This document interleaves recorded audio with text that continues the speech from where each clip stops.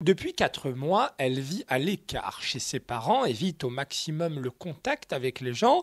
Dès qu'elle sort dans la rue, elle a le sentiment qu'on ne parle que d'elle. Son procès n'a pas commencé, qu'il est pour elle déjà terminé. Euh, la seule chose que je peux vous dire, c'est que de toute façon, les gens sont tous contre moi. Ils n'ont même pas cherché à comprendre les vraies circonstances de tout ça, quoi.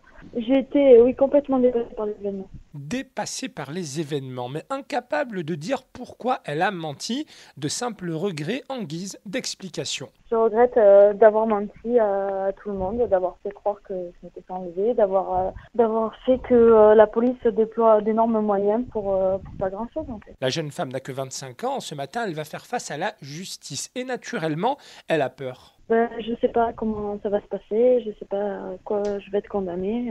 Tant que le procès ne sera pas passé, je peux pas dire que je sais bien. Elle sait qu'elle risque gros. Son mensonge a fait le tour de France. Il est temps pour elle de dire la vérité.